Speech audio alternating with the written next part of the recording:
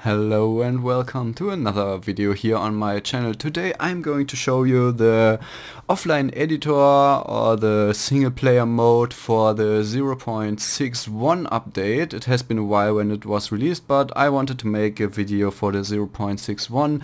I've already made a video for uh, 0.60 offline editor but this is now deprecated and I want to make a new one. So you have to download the file in the video description and you have to unpack these two folders. You can put it on your desktop or maybe I don't know in a different folder.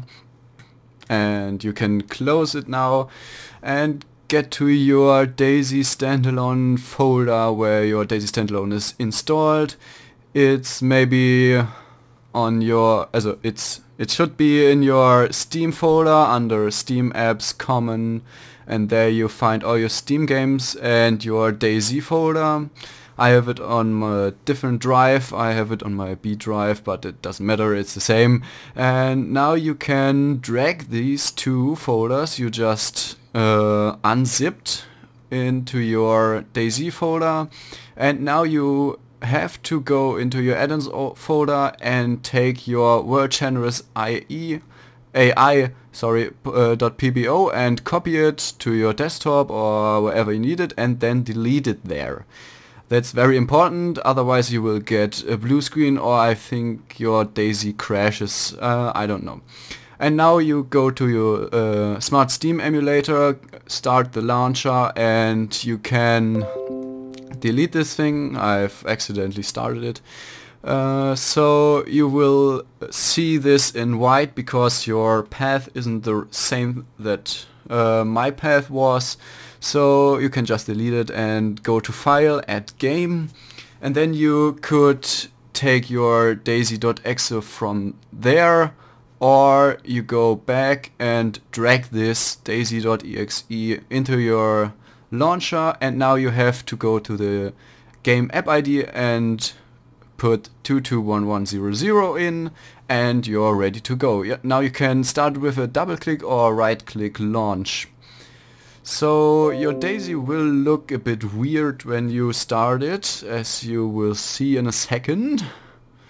So your DayZ is pull to the right. It's not centered in your on your screen, but it shouldn't be a problem. We will fix this now, but you have to be fast when you click restart. Now I was too late, so you need to press Alt F4 or close your DayZ and make the same thing again. It's a bit annoying, but I don't know how to fix it. And yes, if you are fast enough, it should be no problem. So you have to wait a bit until it loaded. Okay. And now your cursor will disappear and you have to be prepared. So escape, restart, and you're in the game. Okay, now let's fix this you go to video and put your DayZ into windowed mode and then yes you just full screen it and go to configure and change your resolution back to the normal hit apply and it should work fine. So you spawn without anything but you can press B to open a menu a menu and you can search for any item which is in DayZ's currently and you can make your own presence so you could take my loadout and spawn in inventory and now I have uh, M4 fully equipped and some clothing on. And you can of course spawn things for your sedan on the ground and you even can spawn the sedan itself. You have to uh, search for it here. Sedan, yes, sedan, so civilian sedan, and then you spawn it on the ground, and there it is. Okay, now you could uh, put it together with all the parts and drive around and have a bit fun. But this is only for single player, so you can't play with your friends. And yes, it's no kind of hack or something, it's just a modification of some files, so you will land in this place here. And you can create your own presence, so you can, mm, yes, I don't know, YouTube. So if you have one with a B in it, it will close it and it won't work, so I will name it Showcase. Um, press OK and then you have your present. It's currently empty, so let's search for NBC. Of course it closes when I press B.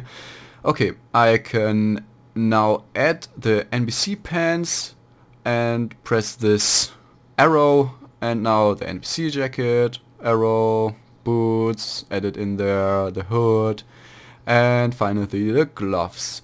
So if I mark this one, I have to go to showcase and then spawn an inventory, otherwise it won't work. So if I spawn maybe test or the I don't know the tutorial. So I have the M4 and spawn it on the ground. I've already made this video so and it I've made some mistakes but um, yes I can now search for the M4 and add it in there and maybe we search for something else maybe a suppressor for the M4 and put this in there too. So I have the attachment suppressor after I have my M4 so it will be on my M4 if I move this thing up and now spawn this in my inventory maybe it's yes genau. Uh, of course you have to uh, select showcase there uh, or your present you want to spawn. So it will spawn this thing and now you see the M4 and the attachment is in my inventory and not on my M4 so I move this thing down again spawn in inventory and now you see it's on my M4 but uh, yes there you see it. Uh, but this is still in my in my inventory. I don't know why so I just spawn this thing in inventory so it's cleared. And this again so you see the M4 has now the suppressor on it. Okay, so you can create some kind of uh, loadout where you have your uh, clothing and your M4 with all your attachments, like I showed before. Here you have your M4 and uh, all attachments you need. Okay. Um, let's see what we can do next. Um, of course you can select some things up there if you are in common with the SQF or the enforcement script languages you can execute scripts. I don't know if your uh, DayZ crashes, maybe. And because the 0.60 you can execute these commands, but your DayZ crashed, so it won't make any sense. And you can teleport, that's very cool. You can maybe teleport to Vybor or to Zelenogorsk West, and yes, you, I changed some video settings so it won't look so worse. I hate rotation blur. It's looking awful, I think. That's just my opinion. So let's make this to very high. Okay. Now it's looks looking much better. And yes, when you click character modifiers, for example, your DayZ crashes.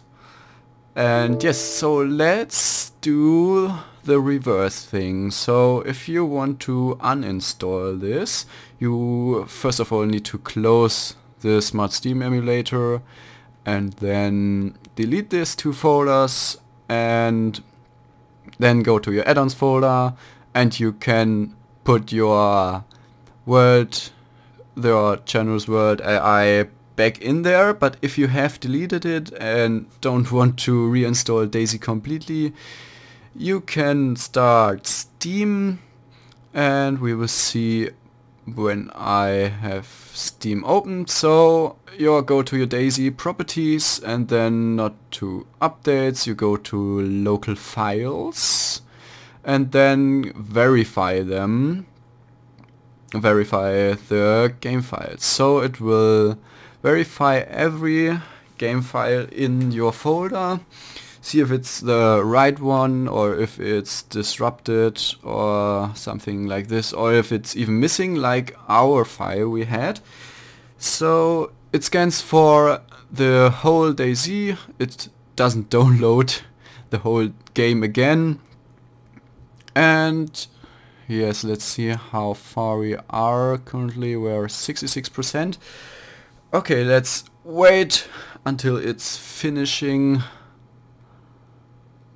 Okay, 85, 90%, so it will finish every moment. Okay, and it will download uh, 45 kilobytes, so it's really not that much. And yes, I hope you liked my video. And please give a like if you liked it. And um, yes, I'll catch you in the next video. Bye.